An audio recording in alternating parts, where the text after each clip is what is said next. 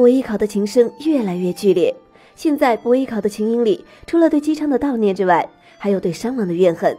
商王听出了伯邑考的曲中之意，他大发雷霆，想要当场杀了伯邑考。伯邑考深知自己辜负了姜子牙的心意，他只求商王将他处死，放姬昌回西岐。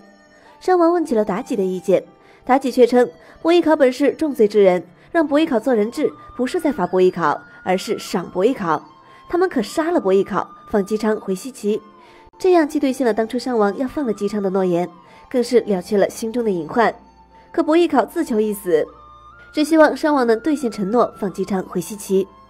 西岐大雨漫天，伯邑考的宝琴琴弦断裂，姜子牙心中暗叹，深知伯邑考最终还是决定顺应天命。商王准备释放姬昌，申公豹向商王提议，他们可将伯邑考剁成肉酱，做成肉包，为姬昌践行。姬昌知晓天理。他吃过肉包后，必会知道其中奥秘。届时，姬昌要么心头愤恨撞墙而死，要么扑上来向商王索命，他们就可以趁机杀了姬昌。姬昌即将出城，费仲与游魂送来肉包跟玉液酒。姬昌吃过肉包跟玉液酒后，商王来到姬昌面前，他故意告诉姬昌，姬昌所吃的肉馅是用伯邑考的肉做的。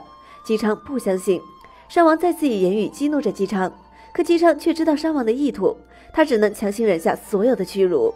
应承着商王，商王见姬昌无动于衷，他要求姬昌每年进贡一子，供他烹食享用。姬昌忍泪应下，离开了朝歌城。夜晚，比干前来见商王，从商王口中得知了白天之事，他深感痛心，认为大商的江山都完了。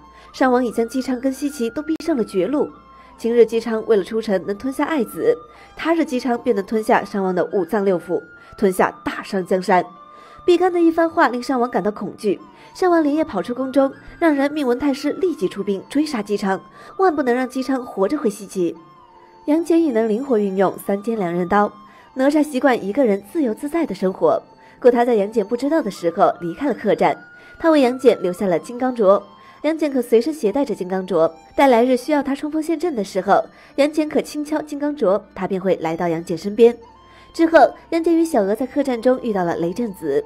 小娥的手臂上浮现起了“金”字，二人得知雷震子便是他们要找的秦将军。武成王黄飞虎与姬昌来到西岐的分界牌关，守护牌关的正是武成王的父亲。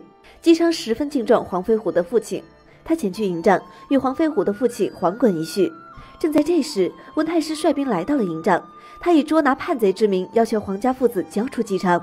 黄飞虎有忠有义，他深知姬昌乃忠臣，故不肯交出姬昌。黄滚一气之下，想与黄飞虎断绝父子之情。黄飞虎执意护着姬昌，黄滚一怒之下，只好准备亲自斩杀爱子。看着父子二人将因自己而两败俱伤，姬昌于心不忍，他主动站出来，愿意跟文太师回朝歌见商王。正在这时，边关来报叛军来袭。